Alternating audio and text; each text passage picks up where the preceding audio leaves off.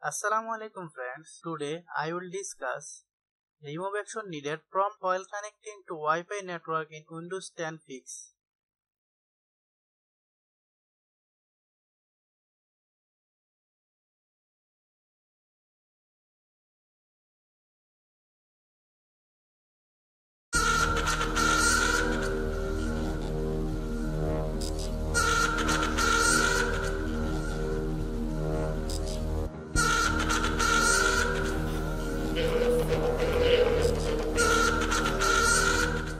First click on search, then type registry editor.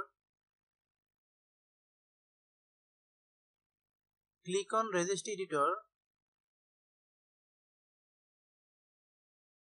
Then click on select.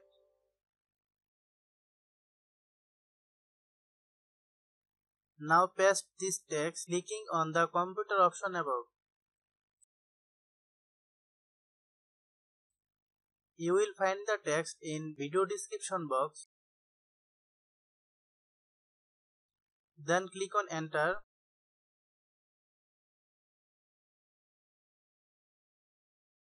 Right click the mouse and click the DWORD 32 bit value from new. Then rename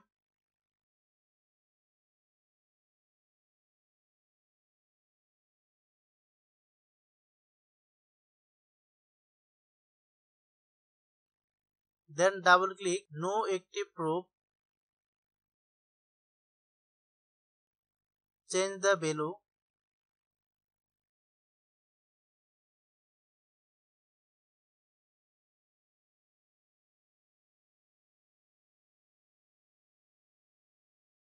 Now paste this text by clicking on the computer option above.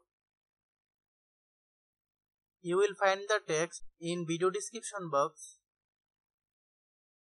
Then click on enter. Then double click enable active probing Change the value.